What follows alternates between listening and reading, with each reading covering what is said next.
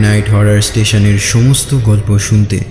Subscribe করুন আমাদের দ্বিতীয় YouTube channel M H S two point ওতে শুনতে থাকুন সায়ন্তনী পুততুণ্ডর কাহিনী, চার নম্বর।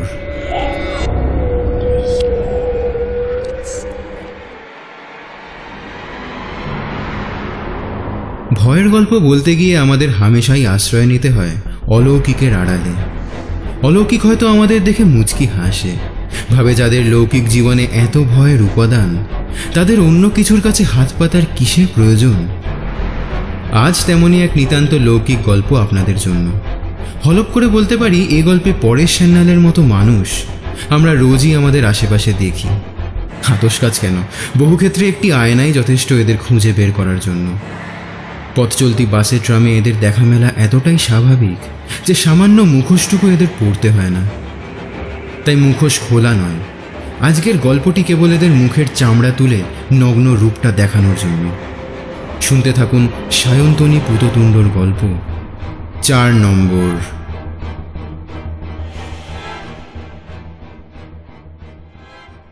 বারাসাতের রাখি পালের সঙ্গে কোনো সম্পর্ক নেই।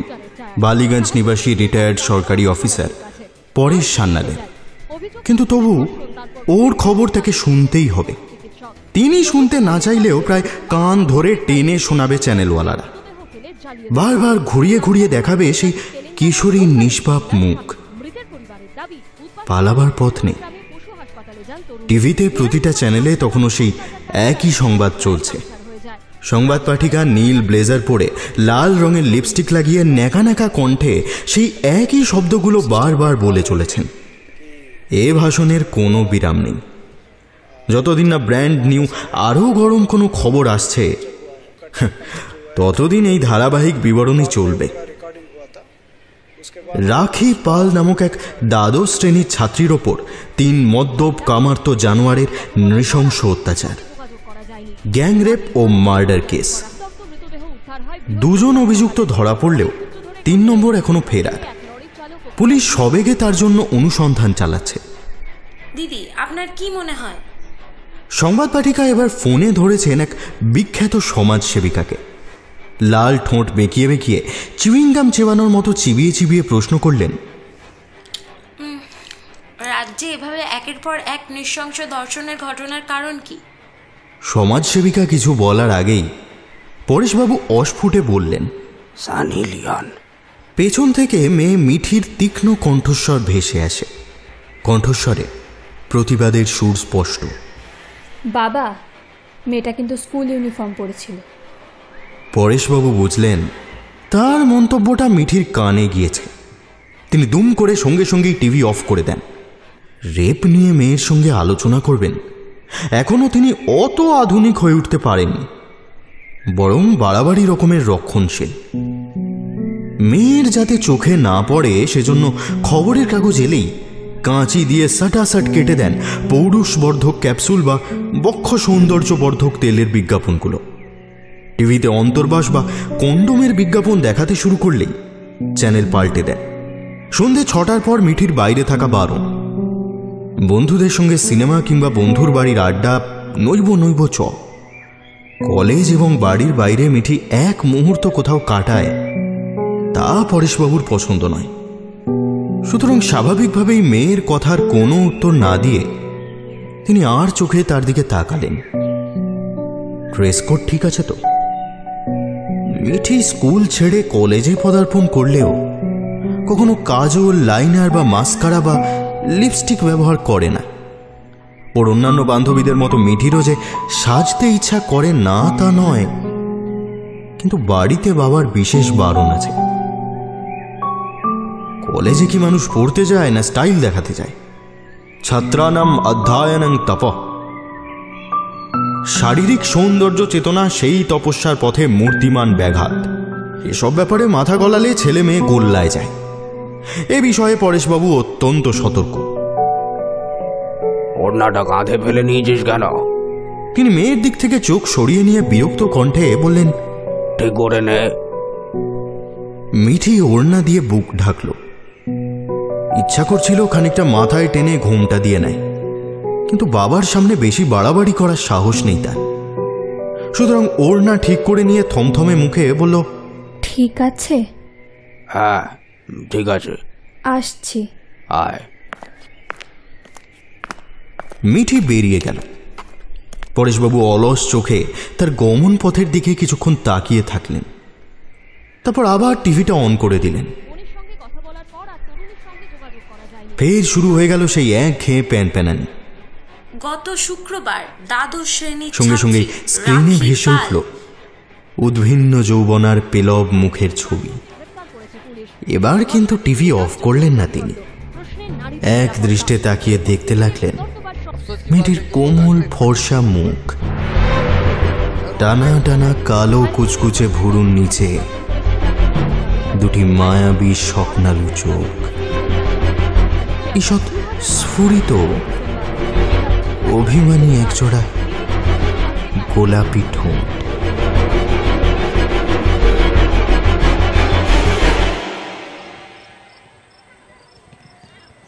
রোজ বিকেলবেলায় সামনের পার্কে নিয়ম করে টহল দেওয়া পরের সান্নালের অভ্যাস। রিটায়ার করার আগে অবশ্য এই নিয়মটা ছিল না। কিন্তু কর্মক্ষেত্র থেকে অবসর নেওয়ার পর তিনি রীতিমতো স্বাস্থ্য সচেতন হয়ে উঠেছেন। রোজ নিয়ম করে ভোরে উঠে প্রাণায়াম, কপালভাতি ইত্যাদি নানান রকম যোগাসন করেন। সঙ্গে এক ঘণ্টা ফ্রি হ্যান্ড এক্সারসাইজ। চল্লিশের পর সেই যে মিষ্টি খাওয়া ছেড়েছেন, আর কোনোদিনও ছুঁয়েও দেখেননি। অবসর নেওয়ার পর থেকেই খাদ্যাভ্যাসে পরিবর্তন এসেছে। কার্বোহাইড্রেট জাতীয় খাদ্য কম খান, সবজি খান বেশি। এমনকি খাবারের তালিকায় মাছ, ডিম, মাংসের পাটও তুলে দিয়েছেন। স্রেফ নিরামিষ বরাদ্দ। স্ত্রী হিমানির ছলছলে দৃষ্টি, নম্র অনুরোধও তাকে আমিষ মুখ করতে পারেনি। বিকেলে এই বিরাট মাঠটায় ন্যূনতম পাঁচ পাক চক্কর মারেন। অনেকটা ক্যালোরির সঙ্গে ঝরে যায় ফ্যাট, কোলেস্ট্রল জাতীয় উৎপাদ তার হাঁটার সঙ্গী রতনবাবু মাঝে মধ্যেই বলেন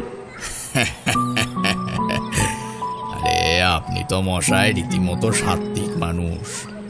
আমাকে দেখুন, এত বয়স হলো, তা সত্ত্বেও মিষ্টির ওপরে ছেলে মানুষের মতো লোক।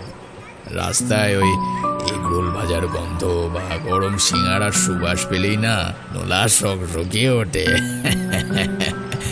তখন না ওই বঙ্কিমবাবুর একটা লাইন মনে পড়ে যায়।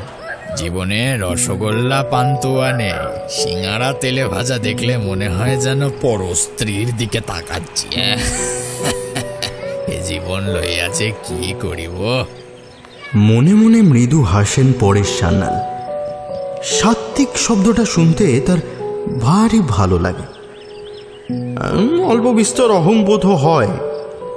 তবে মুখে কিছু বলেন না। শুধু বিশেষণটা উপভোগ করেন। এ দাদা এখন পর্যন্ত কচক্কর মারলেন। আজ পার্কে ঢুকে গোটা কয়েক পাক মারার পরেই রতনবাবু এসে উদয় হলেন। দ্রুত গতিতে তার পাশে হাঁটতে হাঁটতে বললেন ও বাবা কোটা কমপ্লিট নাকি? না আরও তিন ভাগ বাকি আছে। আপনি মশাই নিজেকে কিছু মেনটেন করছেন বটে। আমার গিন্নি তো রোজ কানের কাছে খ্যাট খ্যাট খ্যাট খ্যাট খ্যাট খ্যাট করতে থাকে। ভুড়ি কমাও ভুড়ি কমাও ভুড়ি কমাও। তো এ ভুড়ি বাবাজি তো আর কমবার নামই নিচ্ছে না। একেবারে প্রেয়সীর মতো কোমর আঁকড়ে বসে আছে যেন হ্যাঁ? হাঁটাহাঁটি তো আপনিও কম করেন না। তবু কেন ভুঁড়ি কমছে না আপনার? রতনবাবু একটা প্রাণ খোলা হাসি হাসলেন কি করে আর কমবে, দাদা। দেহটাকে কষ্ট দিয়ে ক্যালোরি ঝরাচ্ছি? কিন্তু ওদিকে যে চোখ বেয়ে প্রাণের আরাম হচ্ছে তাতেই এই ক্যালোরি অর্ধেক বেড়ে যাচ্ছে। ইঙ্গিতটা বুঝতে পেরে বিরক্ত হন পরেশ। রোজ সকালে ও বিকেলে অল্প বয়সী মেয়েরা এই মাঠে কবাডি খেলা প্র্যাকটিস করে। তাই টপ আর শর্টস পরিহিত মেয়েদের ধস্তাধস্তি চলতেই থাকে। টানা হেঁচড়া চোটে কারও টপটা খানিকটা উঠে যায়। চোখে পড়ে কমনীয় কোমর বা পেট। কখনো শর্টসটা উঠে যায় আরও উপরে। সবার সামনে উন্মুক্ত কচি মেয়ের চংঘা পরেশবাবুর অস্বস্তি হয়। রাগও হয়। এটা খেলা না, শরীরের প্রদর্শনী। খেলার চোটে ওদের কারোর খেয়ালই থাকে না যে কখনো নিচু হয়ে আক্রমণ করার সময় স্পষ্ট হয়ে উঠছে ক্লিভেজ টেনে ধরার সময় কারও শর্টস বিপদসীমার উপরে উঠে যাচ্ছে। মেয়েগুলো কি নির্বিকার? নির্বিকার না নির্লজ্জ? ওদের বাপ মা কি এসব দেখে না? বরদাস্ত করে কি করে? রতনবাবুও বলিহারি এখানে এসে এইসব দেখছেন? মেয়েরা ছোট ছোট জামা পরে লাফালাফি করছে দেখে ওর চোখের নাকি আরাম হচ্ছে। মেয়েটা দারুণ খেলে হ্যাঁ? রতন একটি লম্বা বলিষ্ঠ চেহারার মেয়ের দিকে অঙ্গুলি নির্দেশ করেন। ওকে ওকে আমি চিনি। এই রেলপাড়ের বস্তিতে থাকে। ওর মা লতা আমাদের বাড়িতে ঠিকা কাজ করে। মেয়েটা পড়াশোনায় আমুরি কিছু নয় তবে খেলোয়াড় হিসাবে কিন্তু দুর্দান্ত। অসম্ভব পরিশ্রমও করে। লতা মাঝে মধ্যেই বলে যে ওই মেয়ে একটা টিমে সিলেক্ট হয়ে গেলে তাহলে ভালো চাকরি পাবে। ওর বাপটার তো দু পাই অ্যাক্সিডেন্টে কাটা পড়েছে। সংসার লতা একাই চালাচ্ছে। মেয়ে যদি কোনোভাবে একটা স্কোপ পেয়ে যায় না, তাহলে রতনবাবুর কথা কানে ঢুকছিল না পরেশ সান্যালের। তিনি মেয়েটির দিকে তাকিয়েছিলেন লম্বা চড়া যথেষ্ট ভরন্ত দেহ। তার উপর টপটা যেন কেটে বসছে শরীরে। ঘামে ভিজে লেপটে গিয়েছে গায়ের চামড়ার সঙ্গে। বুকের উদ্ধত্ত কোমরের খাঁজ, মসৃণ নুরুর পেলবতা, সব যেন বড় বেশি প্রকট। মেয়েটার কপাল থেকে টপটপ করে ঘাম পড়ছিল। শরীর ক্লান্তিতে ভেঙে আসছে।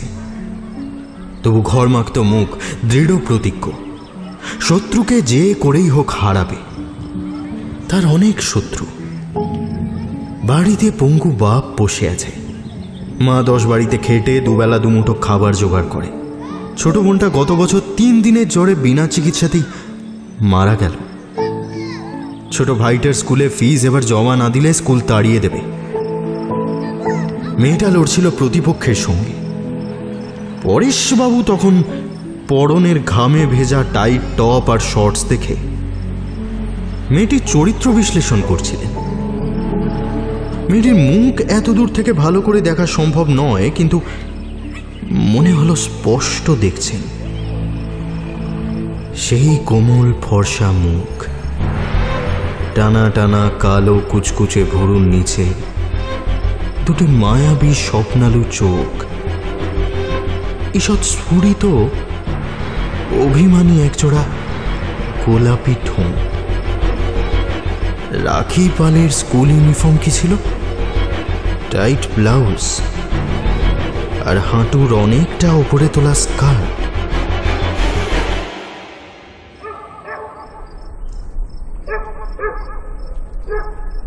তখন মধ্যরাত। কোথাও যেন জল পড়ার অবিরাম শব্দ। তার মধ্যেই দুটো কুকুরের প্রবল আস্ফালন ভেসে আসে। নিজেদের অধিকার নিয়ে চলছে লড়াই। কেউ কাউকে এক তিলও জায়গা ছেড়ে দেবে না। হিংস্র দন্তপংক্তি বের করে প্রবল গর্জনে পরস্পরের উপর ঝাঁপিয়ে পড়ছে দুটি সাপদ। সর্বশক্তি দিয়ে হারানোর চেষ্টা করছে একে অপরকে।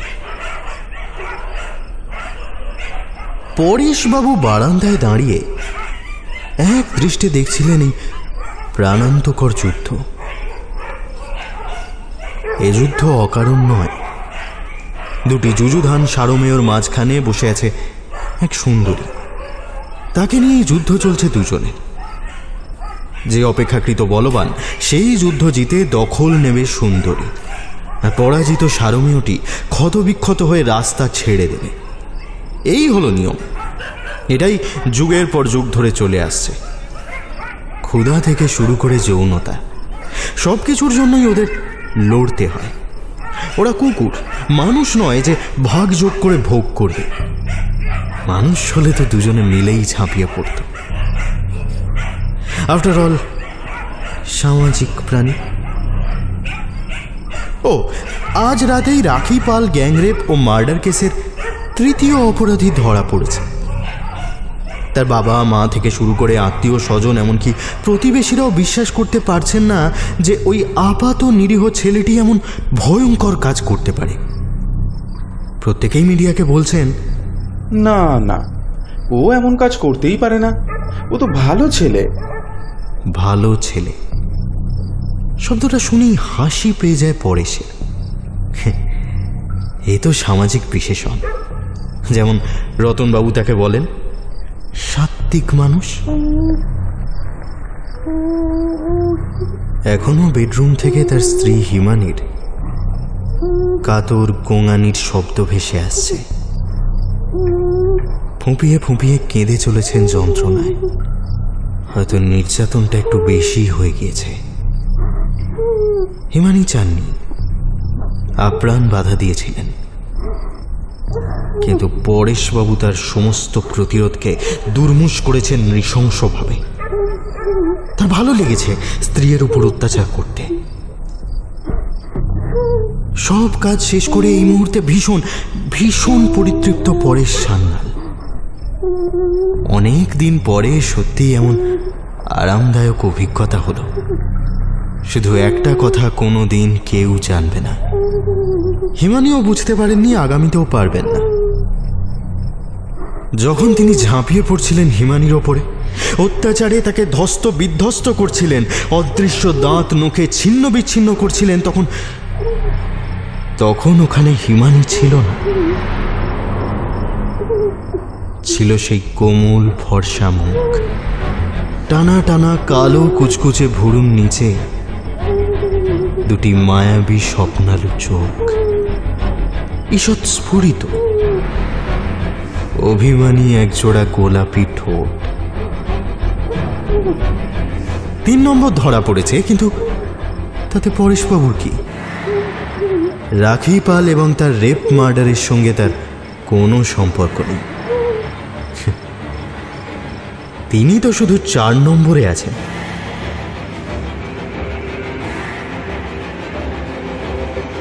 যে কোনো ধর্ষণে, যে কোনো নারী নির্যাতনে, যত আসামি ধরা পড়ুক না কেন, একজন ঠিক গা বাঁচিয়ে বেরিয়ে যায়। শুধু তাই নয়, সে ঘুরে বেড়ায় আমার আপনার চারপাশে, খুঁজতে থাকে তার পরের ভিকটিম আজ গল্প পাঠে ছিল সায়ক। বিভিন্ন চরিত্রে অন্বেষ, সায়নী, তমাল, দিগন্তিকা ও রণদীপ। শব্দগ্রহণ ও আবহ সৃষ্টিতে সায়ক।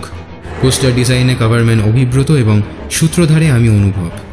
শুনছিলেন সায়ন্তনী পুততুণ্ডর কাহিনী, চার নম্বর। সবাই ভালো থাকবেন, সুস্থ থাকবেন, শুভরাত্রি।